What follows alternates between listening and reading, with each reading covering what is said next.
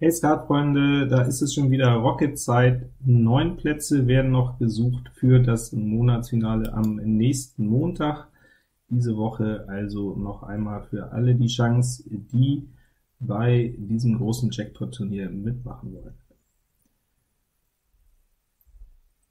Einmal mehr kann ich es ruhig angehen lassen, habe mich für den nächsten Montag schon qualifiziert. Bin mal gespannt, ob ich da auch ein paar Serien von ins Netz stelle, wie es da läuft. Immerhin geht es da bei mir nur noch um ein paar Bonuspunkte, und in dieser Woche werde ich also wohl nur hier das kleine Rocket-Turnier spielen und dabei versuchen, jetzt meine 5 Euro gegen die beiden Kontrahenten zu verteidigen.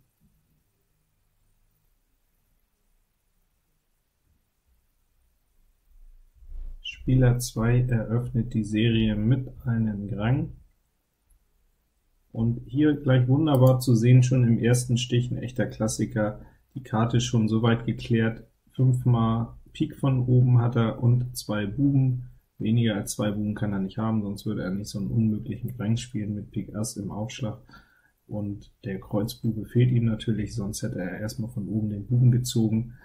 Jetzt kommt es ein bisschen auf seine Beikarte an, wenn er noch ein Ass dabei hat, dann kann er gewinnen, es sei denn, mein Partner spielt jetzt ein bisschen scharf, er bringt also vielleicht eine 10, er bringt Kreuz 10, meine ich, er bringt aber nur den Kreuz König, das sind jetzt 31, und jetzt will ich natürlich sofort ausleuchten und meinem Partner auch zeigen, dass ich noch ein Ass habe, ob hier in dem Spiel was möglich ist. So, wir kennen jetzt also schon acht Karten, und wenn mein Partner jetzt hier sticht, dann kann es eigentlich auch nicht reichen, und er sticht ähm, wenn er noch abwartet, hätten wir zumindest mehr bekommen können. Pik König mit Wimmlung ähm, wären dann hier ein paar Augen mehr gewesen.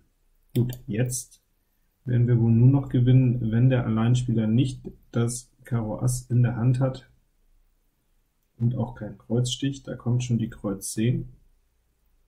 Abwurf Karo Lusche, gut, dann hat er noch ein Karo in der Hand, wenn das das Ass ist, hat er gewonnen, wenn er noch eine Karo Lusche in der Hand hat, dann hat er verloren, doch er hat das Ass. Also im Nachhinein, so ein Spiel ist zu schlagen, dann muss mein Partner aber schon im zweiten Stich vielleicht entweder direkt mal den Kreuz Buben ziehen, kann er machen in dem Fall, bekommt er auch äh, Herz-Ass-Ladung 15 dazu auf 30, und dann muss er einfach schon scharf die Kreuz 10 bringen. Er muss dann den Riecher haben. Ähm, es nützt nichts, dann Herz König 10 anzubieten, dann kommt Abwurf Kreuz Lusche, und Kreuz König 10 reicht alleine auch nicht. Wir brauchen diesen 21er Stich in so einem Spiel, und das ist natürlich schon ein bisschen ähm, fortgeschritten, das ist kein Problem, das funktioniert einfach nicht immer. Ähm, Insofern werden solche Spiele dann auch häufig mal gewonnen.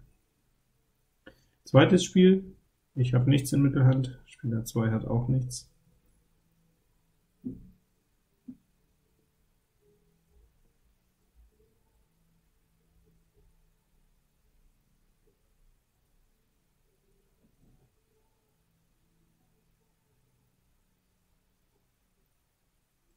So, Karo ist Trumpf, ja, zwei Trumpf nur dagegen.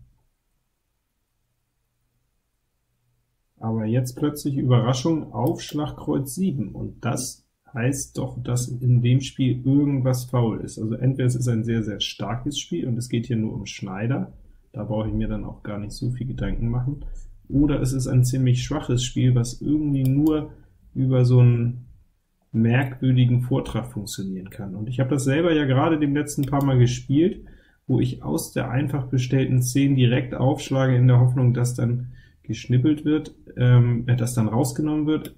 Falls das hier auch der Plan ist, dann gehe ich jetzt mal hier in Schnitt. Die Lusche von meinem Partner, das bedeutet 10 und Dame sind noch beim Alleinspieler. Jetzt kann es natürlich auch sehr gut sein, dass genau diese 13 Augen gedrückt sind und dass genau diese Fortsetzung, die ich jetzt hier trotz alledem bringe, der die Wunschfortsetzung ist, mein tatsächlich. Mein Partner aber hat hier clever nicht gewimmelt, das war ihm auch zu heiß, wirft die Pik 9 ab, sieht wohl so aus, als hätte er die Handvoll Trümpfe, und gut, vielleicht hat er auch gar nichts zu wimmeln. weil vermutlich doch die Herz 10 müsste er doch haben, Herz Ass 10 und Pik Ass mit 13 im Keller, dann hätte der Alleinspieler vielleicht doch anders gespielt.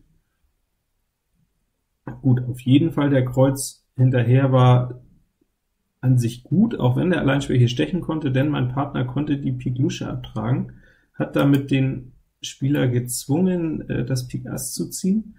Wenn er Trumpf zieht und ich nochmal äh, rankomme, nochmal Kreuz Lusche, dann wäre Pik, die zweite Pik auch noch weg und damit das Pik Ass verloren. So aber kann jetzt mein Partner hier auf Pik 10 die Herz 10 abwerfen und auf die nächste Kreuz Lusche den zweiten Herz, und damit ist plötzlich das Herz Ass dann verbrannt. Also, schlauer Vortrag vom Alleinspieler, erstmal mit der Lusche zu starten, hat ihm hier aber trotz alledem nichts genützt. Ähm, ich weiß gar nicht, wenn ich zum Beispiel mit dem Kreuz Ass raufgehe und Kreuz hinterher ziehe, vielleicht sticht mein Partner dann rein, dann läuft das Spiel noch nicht mal so günstig, wie es jetzt gelaufen ist. So ohne das äh, Herz Ass hat der Spieler jetzt nur 49, und was auch zu sehen war, zieht er das Herz Ass einfach hin, bevor er Pik Lusche vom Spiel geht, dann hat er natürlich wieder gewonnen, denn er bekommt den König, er hätte den Herz König bekommen. Das Bild, das wusste er allerdings nicht ganz genau, ich habe zwei Herz Luschen, hätten sonst auch 60 sein können. So, nun wird wieder Herz gespielt, ich habe vier Trumpf dagegen, und das ist ja jetzt schon wieder die Frage, beim Aufschlag langer Weg, kurze Farbe, aber mit vier Trumpf den blanken, aus dem König zu dritt auch nicht so schön. Ich entscheide mich jetzt hier mal für den Kompromiss, kann man auch gut mal spielen.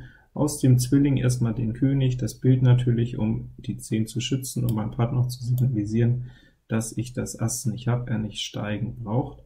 Und dann können wir auch auf diesem Weg mal schauen, wie es weitergeht. Kreuz Bube blank bei meinem Partner, denke ich, sonst hätte er nicht übernommen, und dann, ja, setzt mein Partner hier die Farbe nach. Es heißt ja immer mal, spiele die Farbe nach, die gefordert ist, aber Farbe gefordert, sowas gibt's aus meiner Sicht an sich überhaupt nicht. Du eröffnest das Spiel, du hast eine Idee, manchmal eben wie in dem Fall hast du auch gar nicht so eine richtige Idee.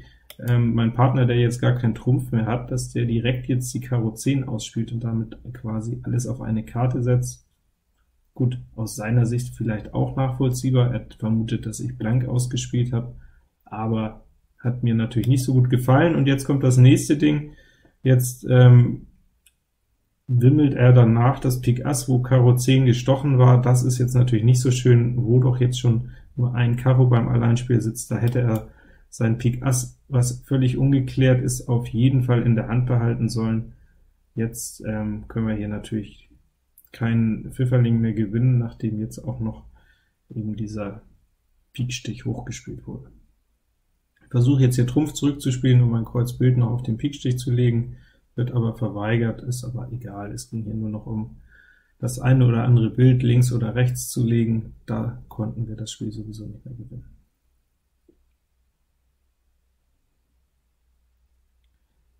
Viertes Spiel. Bisher ein trauriger Auftritt, wenn ich so in meine Karten schaue. Immerhin jetzt schon mal drei Könige und zwei Damen, dazu allerdings nur ein Bube und kein Voller. Also Bilderversammlung habe ich hier schon mal in der Hand, und trotz alledem sage ich euch, nicht über die Karten jammern, das ist nur ein vorübergehendes Phänomen, auch die Buben und Asse werden sicher noch ihren Weg zu mir finden. Jetzt also immer trotz alledem versuchen, das Beste draus zu machen. Ihr seht das manchmal, die Gegenkarte sieht erstmal absolut schlapp aus, und trotzdem stecken so viele mögliche Niederlagen in den Karten, weil euer Partner noch ein bisschen was kann also niemals zu früh aufgeben. Dieses Spiel lief jetzt natürlich auch nicht gut für uns. Wie gesagt, war auch nicht zu erwarten, dass wir hier viel machen können. Ähm, Pik 10 wurde gestochen. Ich habe selbst auch gar nichts äh, hier zu wimmeln.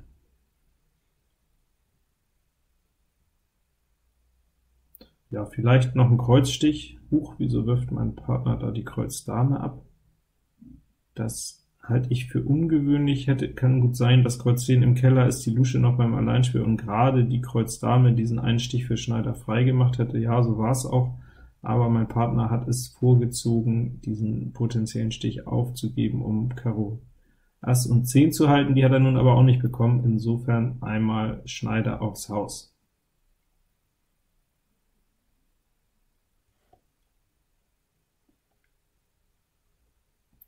wieder 4 Trumpf dagegen. Jetzt übrigens auch eine ganz typische Situation. Viele Skatspieler werden jetzt mit dem Herzbuben übernehmen, weil sie im Prinzip ein bisschen ängstlich vielleicht sind, dass das Kreuz Ass bei ihrem Partner sind, und weil es auch diesen Spruch gibt, wenn du kannst, dann sollst du.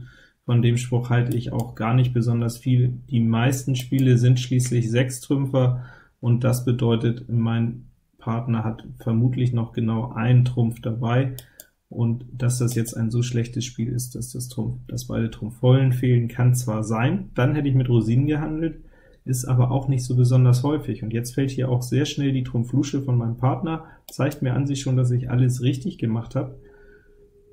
Das sehe ich auch daran, dass der Alleinspieler jetzt hier schon einen Zwischenzug macht. Sieht so ein bisschen schon wie Panik aus.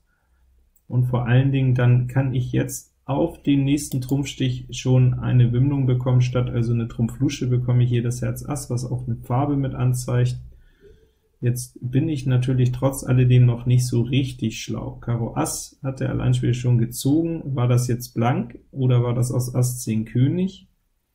Karo jetzt hinterher spielen möchte ich auf jeden Fall nicht, ich gehe dann doch mal nach dem Motto vor, mein eigenes volles hier anbieten, ähm, das Pik Ass auf den Tisch, vermute doch eher Karo Ass 10 König beim Alleinspieler, dass der jetzt nach dem Trumpf bei äh, der Stich nicht mitgenommen wird, ein blankes Ass zieht, halte ich dann doch irgendwie für unwahrscheinlich. Kann aber natürlich sein, dass ich ihm jetzt auch gerade die 10 hochgespielt habe, das wäre dann ärgerlich, dann hätte mein Partner mir besser erstmal die Karo 10 gewimmelt, um mir das ein bisschen anzuzeigen.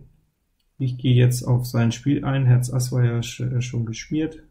Aber wieso geht er denn mit der Wieso geht er denn jetzt mit der 10 ran? Er hat doch schon Karo gesehen und Pik beim Alleinspieler. Ja, also das begeistert mich jetzt absolut nicht. Und jetzt kommt hier auch noch der Karo König.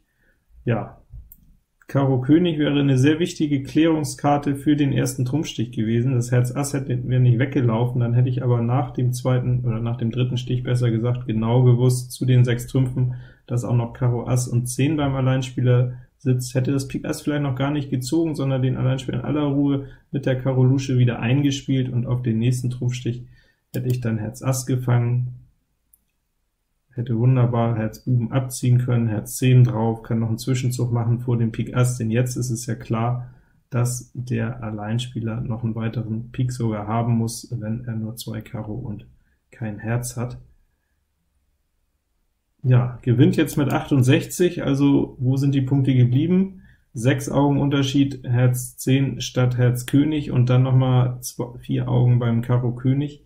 Das Spiel hätten wir also schlagen können, wenn mein Partner, der ja keine Trümpfe hat, ein bisschen sauber mitspielt, denn keine Trümpfe zu haben entbindet nicht davor auch ein bisschen ähm, mitzuhelfen. Der blanke Karo König, das war eine gefährdete Karte, die hätte in den ersten von meinen Trumpfstichen reingehört.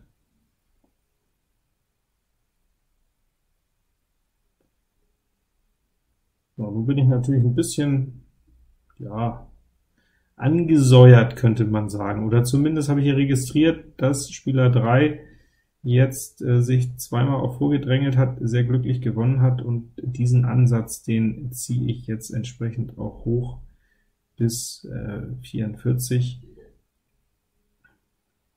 komme dafür aber nicht ans Spiel, beziehungsweise auf 44 passe ich dann, irgendwann ist es wohl doch ein bisschen zu viel des Guten, und die, das Risiko steigt natürlich auch mit jeder Reizstufe, sich mit einem Buben zu überreizen.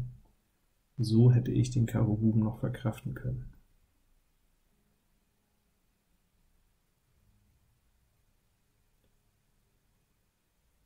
Krang wird gespielt, keine Überraschung, also volle auf den Tisch. Der Pik 10 helfe ich hier so ein bisschen meinem Partner zu zeigen, dass ich das Pik Ass habe, und wie schön, ein Gerang mit Vieren. Das freut mich immer, dass es solche Karten gibt.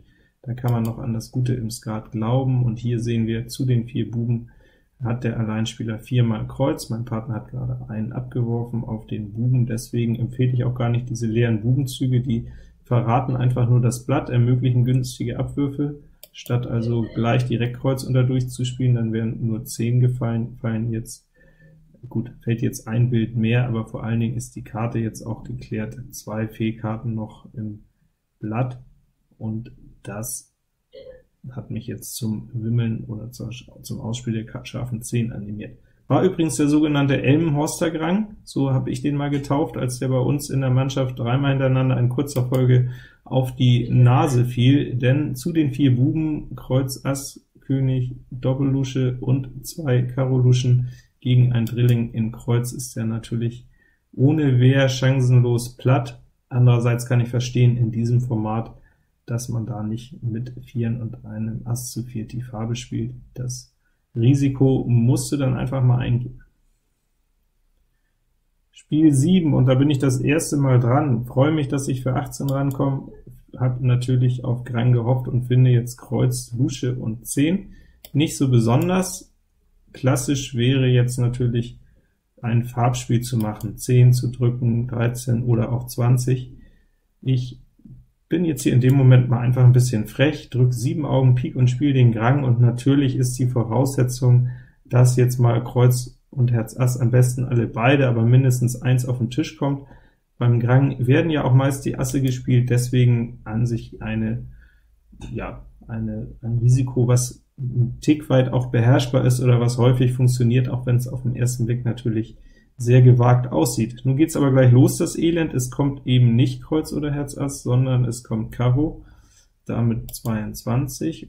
Ich ziehe natürlich erstmal den Buben, da bin ich sonst auch einspielbar, 28. Und jetzt habe ich natürlich das Problem, wenn äh, Karo 10 etwa nicht gestochen wird, ich komme gar nicht von alleine hier so vom Spiel, keine Karte mehr zum Rausspielen und muss dann irgendwann selber mit den mit den bestellten Zehnern antreten. Das wäre nicht so besonders schön. Insofern erfreulich, dass Karo 10 jetzt hier gestochen wird, und jetzt brauche ich natürlich doch noch wieder ein bisschen Dusel. Wenn jetzt gerade Pik auf den Tisch kommt, dann sieht es absolut finster aus, denn logischerweise, dass kein Bube mehr drin ist, das haben die anderen auch gesehen, und damit werden sie dann auch auf jede 10 schnippeln. Hier Glück gehabt, Herz kommt raus, und jetzt Ah, wunderbar. Es gibt so Sachen, da kannst du dich eben drauf verlassen. Beim Grang werden häufig die Asse gespielt. Also Frechheit hat hier gewonnen. Ähm, beide Zehner hochgespielt.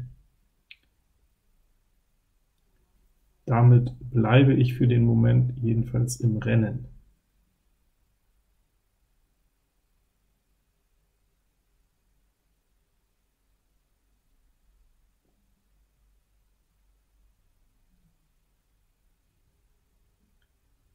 Wie es so kommt, das sieht doch gut aus. Nach so einem frechen Ding gibt es jetzt erstmal ein Anschlussspiel. Zumindest bin ich mir schon ziemlich sicher, dass ich hier mit rankomme. Das Spiel werde ich wohl nicht hier vom Tisch gehen lassen. Zwei Buben, zwei Assfarben, die Pik 10 noch dabei, 13 zu drücken. Komme jetzt aber natürlich genau erst bei 30 ran, also unangenehme Reizung, wo ich auch nicht mehr den Karo Hand jetzt machen kann. Findung im Prinzip gut, aber nicht bei einer 30er Reizung eben. Ich hätte jetzt natürlich ein sehr starkes Karo-Spiel, was ich auch äh, bei 27er Reizung oder 24er Reizung wohl in Mittelhand spielen würde mit Schneideroption. Nun sind wir aber bei 30, und dann heißt es doch nur wieder Augen zu und durch den Grang. Wenn jetzt äh, der Spieler in Hinterhand natürlich tatsächlich eine Herzflotte hat, kein Karo und zwei Buben, dann ist das Ding natürlich gegessen. So, erstmal Herz vollen gestochen, soweit okay, 25. Überlegung jetzt über die Dörfer direkt, nein, ich habe es schon so oft gesehen, ob nun Reizung ist oder nicht, dass die Buben verteilt kommen. Wenn die Buben kommen, ist das Spiel sofort gewonnen. Zack, da ist es passiert, 31, habe jetzt noch drei volle Stehkarten plus den Pik König, und wenn Karo, König und 10 auseinandersitzt, dann wird der Gang Schneider schwarz, ansonsten wird er einfach nur gewonnen. Also, jetzt kommt der Moment. Na, das wäre dann vielleicht auch ein bisschen des Guten zu viel gewesen. Einfach freuen, dass die Karte zumindest glatt auf Sieg stand.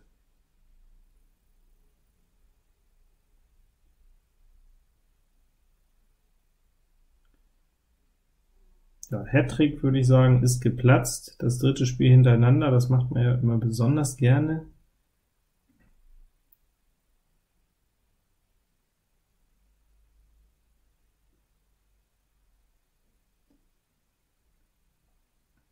Tja, ich wage keine Prognose, was jetzt hier für ein Spiel rauskommt und äh, wer die Nase vorn hat. Meine Karte gibt gar nichts her. Auf 44 kommt Spieler 3 in Hinterhand ran. Und er spielt einen Grang. Ja, was hat mein Partner gereizt? Hm. Herz oder Pik. Beides erscheint irgendwie ein Tick weit unwahrscheinlich, wo ich jeweils ein Drilling im Blatt habe. Ja, wie will man einen Grang schlagen? Blank ist meine Antwort auf viele dieser Fragen, auf viele dieser Eröffnungstheorien. Ich habe ja nun wirklich so oder so kein gutes Ausspiel. Klar, die 10 tut jetzt im ersten Moment ein bisschen weh, Ass hätte aber sicher bei der Reizung auch bei meinem Partner sitzen können. Dann hätte ich hier mit dem blanken Herz Buben ein paar Ideen entwickeln können.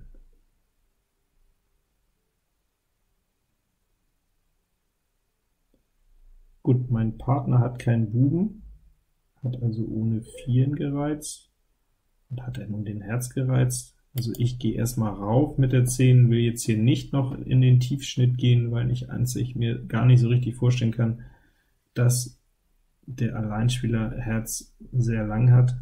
Doch mein Partner legt das Ass sehr schnell. Das sind manchmal so die kleinen Indizien, wo ich schon das Gefühl habe, könnte blank gewesen sein. So, ich habe auch gar nichts zu wimmeln hier, jetzt sind wir bei 28. Ein Spieler sticht, kann ich nochmal Kreuz abwerfen, und tatsächlich hat er den Herz König zu dritt an der Seite, Karo Ass einfach bestellt und die drei Buben, also ein ganz frecher Gang, dann hat er noch zwei andere Karten in der Hand. Jetzt muss ich ja fast vermuten, aufgrund der Reizung, dass mein Partner vielleicht noch beide dunkle Asse in der Hand hat und der Alleinspieler wirklich einen absoluten Graupengrang noch mit einer bestellten 10 oder König. Jetzt kann ich nur hoffen, dass mein Partner jetzt sich richtig entscheidet, und ich habe ja nun schon Kreuz Dame und 9 abgeschmissen. Uh, Kreuz Ass sehe ich erstmal nicht so gern, habe ich kein gutes Gefühl. Nein, nein, nein, nun schaut euch das an, er schmeißt das Kreuz Ass ab, und der steht in der einfach bestellten Kreuz 10 auch noch und gewinnt hier mit 78, obwohl er die Karo 10 bekommen hat, obwohl er Herz König hochgespielt bekommen hat, hat er hier nur gewonnen, weil mein Partner jetzt das falsche Ass wimmelt. Oh, das war ja wirklich ein ganz obskurer Grang nach dem Motto alles oder nichts, mit sehr viel Dusel. Ja. Ja. Ihr habt es ja gerade in dem letzten Video gesehen, auch ich gewinne manchmal mit Dusel die eine oder andere richtige Flocke, Kirsche, wie immer man diese Spiele nennen will. Von daher kann ich mich auch mal äh, für die anderen mit freuen, obwohl es natürlich im Gegenspiel mehr Spaß macht, 40 Punkte einzukassieren.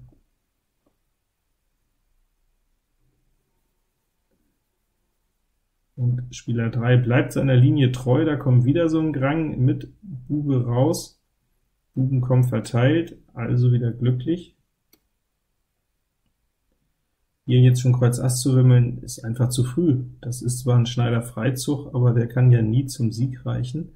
Es kann eben gut sein, zumindest habe ich eben ja auch gesehen, wie frech Spieler 3 spielt, dass er hier immer noch ein Problem in Kreuz hat, von daher behalte ich das Ass erst noch mal in der Hinterhand. Er hat aber das Problem in Karo, er bedient auch noch mal Herz. Ja, ich meine, wir haben 36 liegen, Kreuz Ass jetzt rein, sieht zwar verführerisch aus, reicht aber nur für 57, von daher einfach trotzdem noch mal einmal zurückklammern, auch wenn ich nicht glaube, dass es noch was gibt. Vermutlich noch zwei Karos. Ja. In der Tat, wieder eine ganz heiße Kiste. Spiel 10, 300, 360 und ich erst 236, also jetzt muss noch was passieren, sonst habe ich meine Wette verloren.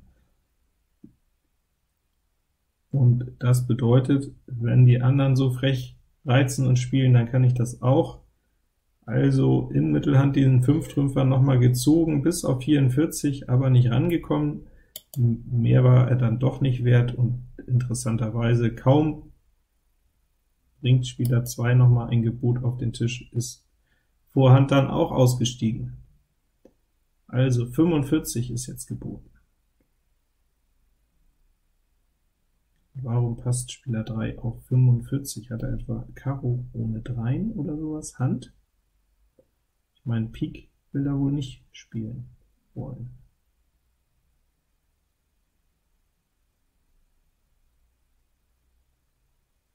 Ja, da ist der nächste Gang.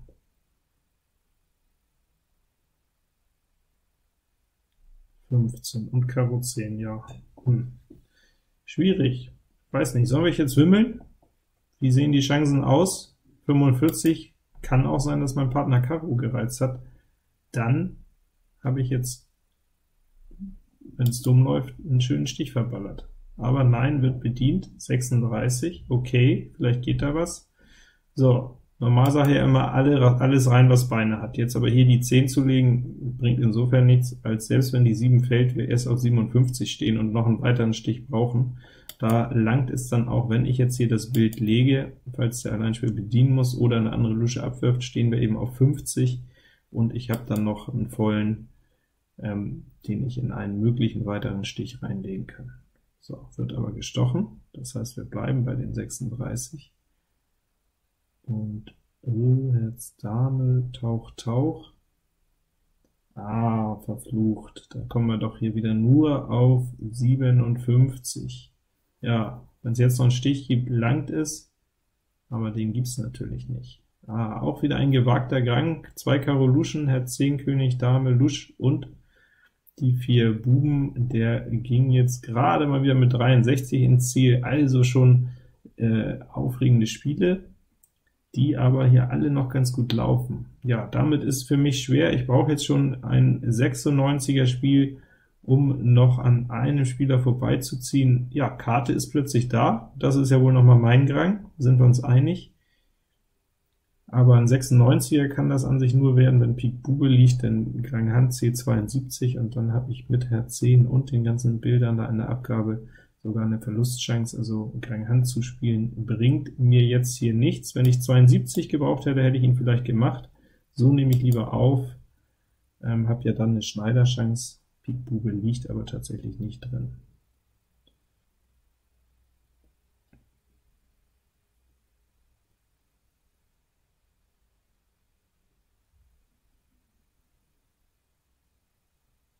So, 15, 29, Schneiderchance ist noch möglich, wenn Pik 2, 2 steht, oder wenn falsch abgeworfen wird. Dazu ziehe ich jetzt zuerst mal einmal das Pik Ass, denn wenn der Pik zu dritt steht dann und der andere eine blanke Pik Lusche hat, dann würde er sie sonst, wenn ich erst den Buben ziehe oder die Karos ziehe, irgendwann zunächst gleich die Pik Lusche abwerfen und dem Mann mit dem König zu dritt es damit leichter machen. Deswegen in so einem Fall erst nochmal aus dem Drilling das Ass ziehen, damit der blanke Pik nicht abgeworfen werden kann. Jetzt kann es ja sein, dass der Mann, der den Pik-König zu dritt hat, auch den Karo-König zu dritt hat und nicht so richtig weiß, was er denn abschmeißen soll. Scheint hier aber nicht der Fall, es wird Pik gehalten, jawohl, dann sind die Gegner aus dem Schneider. Ich habe hier nochmal einen schönen Grang gewonnen. Ja, drei einfache Grangs, 3 zu 0, 144, eigentlich ziemlich solide, aber im Gegenspiel lief jetzt nicht so viel zusammen. Es wurden schöne Spiele, auch wackelige Spiele glücklich gewonnen und die beiden anderen haben 478 und 368. Also Gratulation, ihr bekommt von mir euer Startgeld wieder, und damit sage ich für heute Tschüss, bis bald.